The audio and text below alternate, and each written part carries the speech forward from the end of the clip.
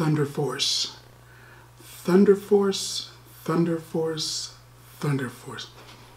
They said in the movie, if you say the name enough, it'll start to grow on you. Thunder Force. Eh, not so much. Uh, Melissa McCarthy, McCarthy, Octavia Spencer, Jason Bateman, and Pom uh,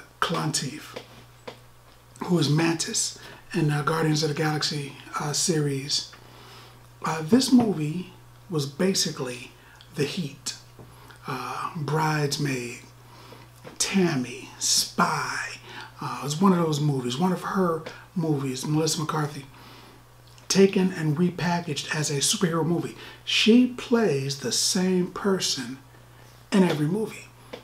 Now you can say every Will Smith movie is Will Smith, but nobody does Will Smith like Will Smith does. You put Will Smith in a movie, you got yourself a Will Smith movie.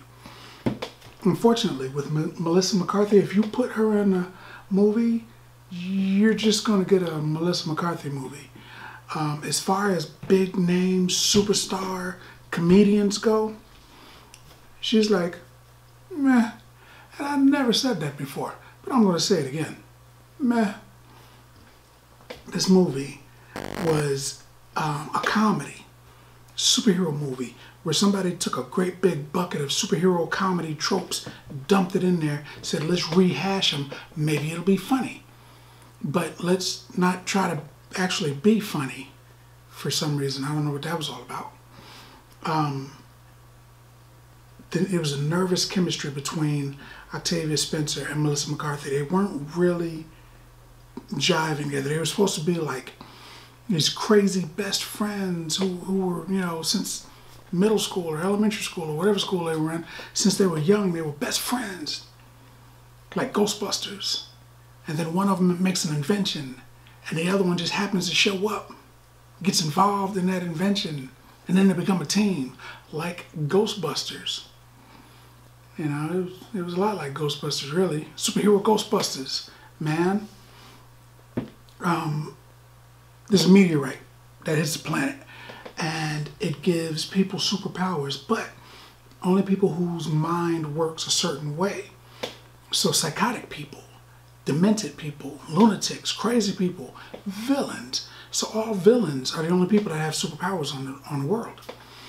So, um, Octavia Spencer's mom and pop are like nuclear physicists or something. I don't know. They're real smart people. And they decided they're going to make a way for regular people to have superpowers.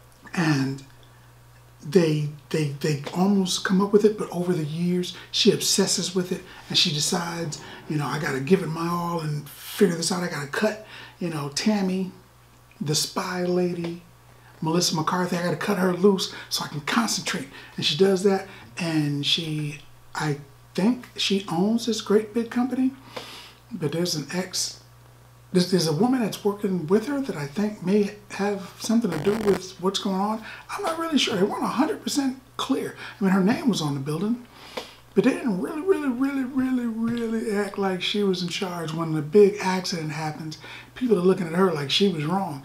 If I was the boss, you can't look at me like that. So, I don't know. That part, uh, it vexed me. So, of course, you know, McCarthy stumbles into the. If you've seen the trailer, you saw this part. I'm not really giving anything away. Melissa McCarthy stumbles into the room with the the secret super power formula, and she accidentally, oops, oh, I accidentally stuck myself. And now she's got superpowers that was supposed to go to Octavia Spencer, and she gets a weaker, lamer power, and they decide to become a superhero team because movies, right? So now they're superheroes and they keep they run into a thing where they're like, oh man, wow, look, we know that this guy that's that's, that's doing this thing, he's trying to get into to the government, is actually a bad guy, but we better not tell anybody. They don't tell anybody. I'd have been like, you know, if I had superpowers and I found out some lunatic was trying to get into government and he was actually a villainous, crazy person, I'd probably call the police. Secret Service. I, it would be in the newspaper. I would tell everybody. They don't tell nobody. The dude even breaks into their building and is like, I'm going to kill you and your family. And they're like, hmm. I'm sorry, what? And they just let him go. He just leaves. And I'm like, you, I mean, you got the superpowers now. Why don't you're not in a superhero fight? The villain showed up and it's like, you know, come on, let's get some. And you're like, nah. Next scene, though. And I'm like, why didn't you fight the dude? The dude was right there. That's what you get the powers for, so you could fight the dude and take it, take him down. But you, you didn't. And he blew up your house and said he was to kill you. Later, for some reason. Um, Mantis, Electric Mantis, is in this and she's she's not bad. They didn't give her a lot of a lot of material to work with, but she's not bad as a villain. She's kind of pale, but she's not bad as a villain. But you know, it was a comedy, so um, they fight her, and that's like the big thing. You know, they're gonna fight her in the end, but you know, it turns out that there's a twist. So they're fighting more than one person, and now you know, it's it's a, it's a tag team, two on two, and everything that you would imagine happens happens. They're two uh, slightly older, slightly uh, thicker women, so their superhero car is a teeny tiny car that they can't really get into. I'm thinking you're a genius billionaire or whatever she's supposed to be and you came up with a formula to give yourself superhuman abilities. You've got this multi-billion dollar company.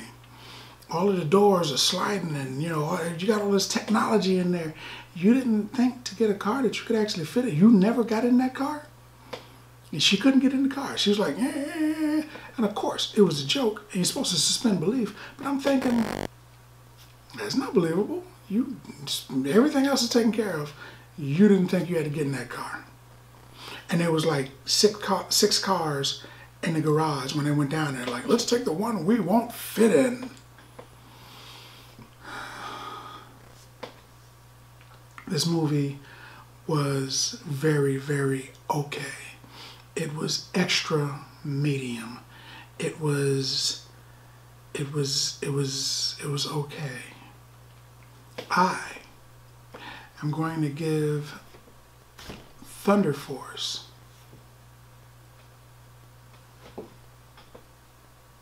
Five.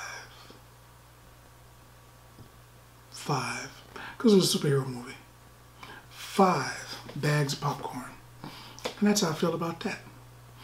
Have you seen Thunder Force? After seeing this video, let's talk about it in the comments. And as always, if you like the video, if you like the content, subscribe. And then like. Popcorn Passport.